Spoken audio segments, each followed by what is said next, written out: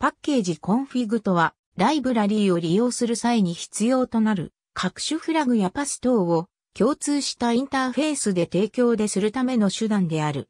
パッケージコンフィグは環境変数 PKG コンフィグパスのパスに存在する PC ファイルに記録された情報をもとにビルドの際に必要な文字列を返す。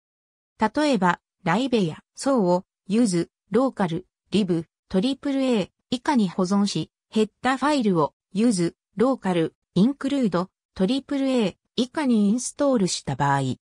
libaaa、so を利用したソースをコンパイルする際に、コンパイラー lib と include のパス等を指定する必要があるが、そのパスが環境ごとに異なる場合を考えると必ずしも GCC、 I、usr、local、Lib、Include OAC、L、Use、Local、Lib、AAA ラーが成立するとは限らない。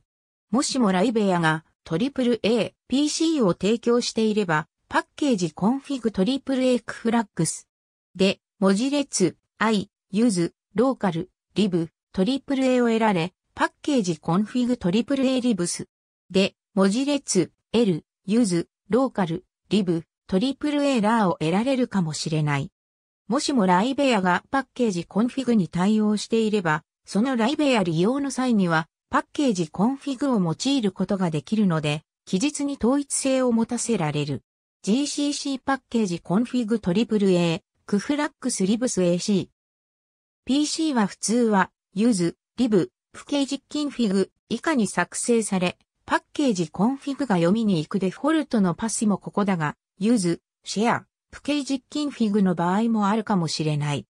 prefix イコール、 usr、local としてライブラリーをビルドした場合は、 usr、local、lib、pkgconfig かもしれない。PC のパスを独自に指定したい場合は、環境変数 PKG コンフィグパスに指定する。 export PKG config、path イコール、 usr、lib、triple A、pkgconfig など。PC の記述方法は、単純にフラグに応じて出力する文字列が列挙されているだけである。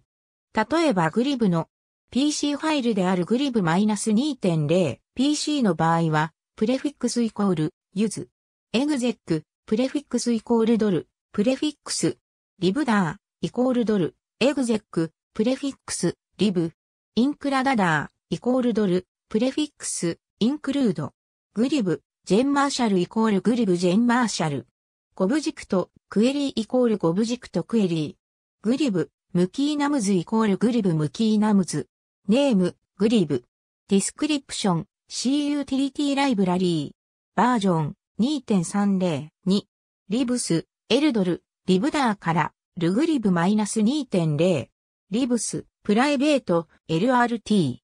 cflags、I ドル、 includedir、glib マイナス -2.0、 I ドル、 libdir、glib -2.0、include。もしもパッケージコンフィグを使わずに、直接コンパイルフラグを指定するとしたらグリブテスト、C、インクルード、グリブ、H、メイン、G プリンフ、GCC、I、 usr、include、glib -2.0、I、ユズ、リブ、グリブ -2.0、インクルード、L、アス、グリブ -2.0 グリブ -2.0、グリブテスト、C、と、グリブを利用するためのパスやフラグの記述が煩わしい。